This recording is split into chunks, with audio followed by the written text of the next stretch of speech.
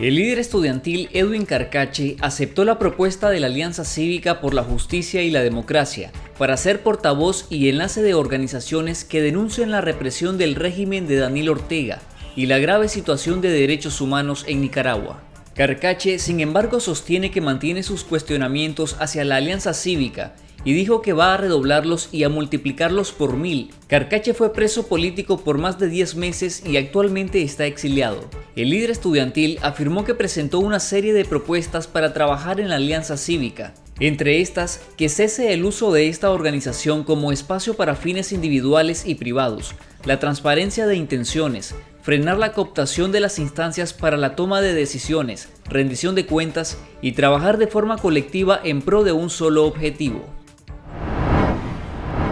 El dictador Daniel Ortega criticó a Estados Unidos por sancionar a altos cargos del gobierno sandinista, incluyendo a su esposa la vicepresidenta Rosario Murillo y a dos de sus hijos, Rafael y Laureano Ortega Murillo. Ortega consideró que las sanciones buscan hacerle daño a los pueblos y que la política de Estados Unidos no coayuda a la democracia, sino que la agrede.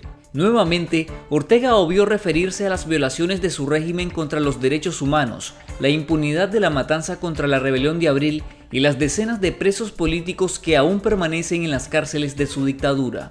En cambio, mencionó el bloqueo económico contra Cuba y las sanciones de Washington contra la aerolínea venezolana Coviasa, solidarizándose con el régimen venezolano de Nicolás Maduro.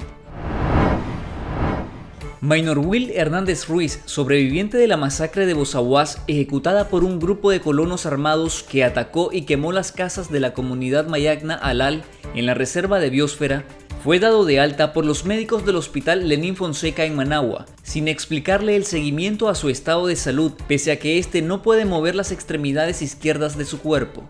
No puede caminar y habla con dificultad. Pichardo Fernández, padre de Maynor Fernández, denunció que en el centro hospitalario no les programaron cita para observar su evolución.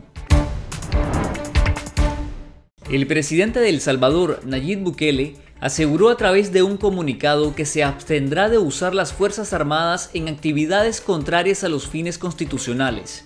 La decisión del mandatario ocurre luego de que la Sala Constitucional de la Corte Suprema de Justicia dictara esta recomendación, después de que Bukele llegara acuerpado por militares a una sesión que él convocó de forma extraordinaria el domingo 9 de febrero en la Asamblea Nacional para que aprobaran el financiamiento de 109 millones de dólares para la fase 3 del Plan de Control Territorial. El presidente salvadoreño exhortó a la Sala Constitucional a pronunciar la sentencia definitiva y que tome en consideración los actuales intereses de la República en el tema de seguridad.